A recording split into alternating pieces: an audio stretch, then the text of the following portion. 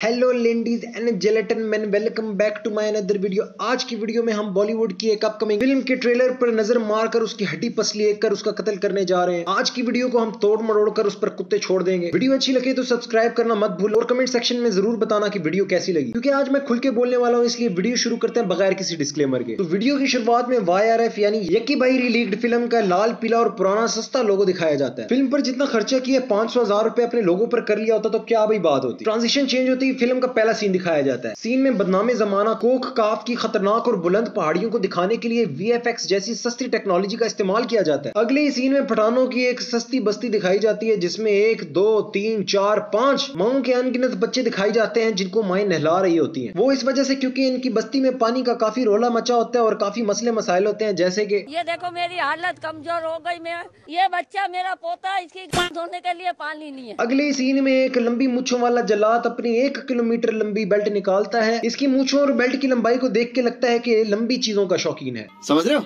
ये जल्लाद और कोई नहीं, बल्कि इन्हीं गंदे लावारिस बच्चों का बाप होता है, जो कि अपने बच्चों को ना नहाने पर बहुत ज़्यादा पिटाई कर रहा होता है। बाप बेटे के फाइटिंग सीन के बाद दादा अबू की एंट्री होती है। बच्चे दादा अबू के तरले मिनते करते हैं और उनके पैर पकड़ते हैं और कहते हैं कि इस जल्लाद बाप से हमें बचा ले। आप भी पिछले पचास साल से नहीं नहाए, हमें भी बचा ले। ये सुनते ही दादा अबू केला खा के गुस्से में आ जाते हैं और बच्चों को ऐसे लात मारते हैं जैसे की डोंकी केक बत्ती ऑन की जाती है तो दादा अबू को फ्रंट सीन से दिखाया जाता है तो पता चलता है की दादा अबू और कोई नहीं, बल्कि संजय दत्त साहब हैं। इस मूवी में संजय दत्त साहब की मुछों को देख के लगता है कि ये भी लंबी चीज़ें पालने के शौकीन है।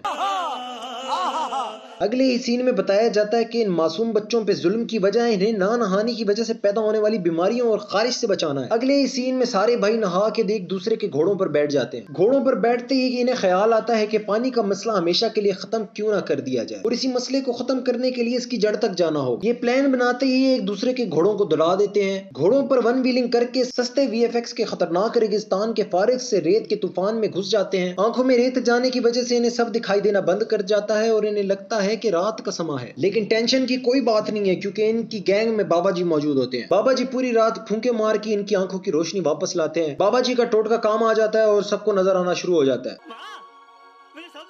पानी का मसला हल करने के लिए पहाड़ की सबसे ऊँची बुलंद चोटी के ऊपर जाकर नीचे देखा जाता है तो पता चलता है कि अंग्रेज़ों ने पानी जमा कर रखा है और वो उससे अपनी तशरी साफ़ कर रहे हैं। ये देखते ही इन लोगों को गुस्सा आ जाता है और वो अपने हाथों से गंदी गाली का इशारा करते ही अंग्रेज़ों पर हमला कर देते हैं। फ़िल्म का man of the match Baba ji को करार दिया जाता है। उनकी खिदमात की वजह से उन्हें इनाम दिया जाता है, जिसको देख वो पागल हो जाते हैं और डांस शुरू कर देते हैं। यहाँ मूवी का ट्रेलर खत्म हो जाता है। ये ऐसा ट्रेलर है की जिसमें किसी औरत को नहीं दिखाया गया। इसलिए हम इस फ़िल्म का नाम यूनियन ऑफ़ छड़ा हजरात रख देते हैं। By the way excellent movie 22 जुलाई को सिनेमाज में रिलीज़ होगी। ज़रूर देखना। तो अब हम भी अपनी गाड़ी को पांचवे गियर से निकाल के न्यूट्रल में लाते हैं और वीडियो को यही एंड करते हैं। वीडियो अच्छी लगी तो सब्सक्राइब करना और कमेंट सेक्शन में अपने प्यार का इजहार करना। ओके फिर टाटा बाय बाय